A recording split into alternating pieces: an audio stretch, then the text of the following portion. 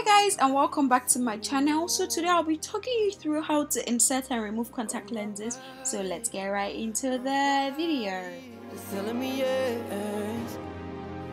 Baby, I don't wanna hurt nobody, but there is something that I must confess. Step 1.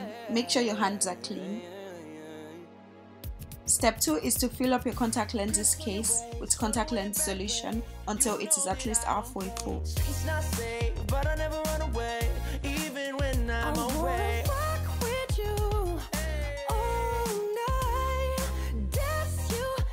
Step 3. Clean your hands with the contact lenses solution. Push the contact lenses away from your pupil using your index finger.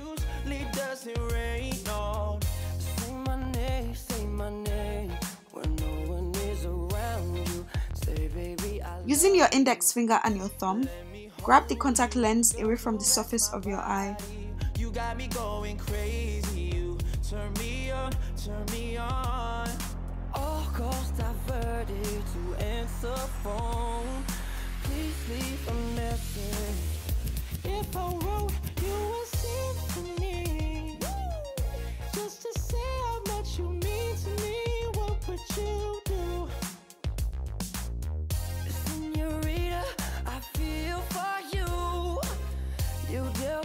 Grab your contact lens from the case and place at the back of your hand. The next step is to add a few drops of contact lenses solution to rinse out any dirt or particles.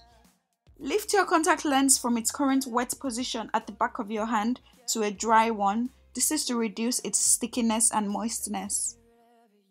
Your lens should look something like this, kind of like a bowl. Using your index finger, lift the contact lens from the back of your hand. Look straight into a mirror and bulge your eyes out. Slowly and gently insert the contact lens onto the surface of your pupil. Blink repeatedly to make sure it's in place. So the last thing I'm going to say is it actually takes practice to be able to put this thing on. I remember the very first time I wore contact lenses in 2012. It took me about 30 minutes to insert just one. Like, can you believe that?